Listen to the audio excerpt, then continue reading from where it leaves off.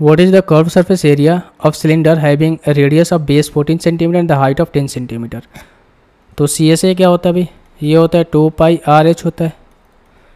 Two into बाईस बटे में सात।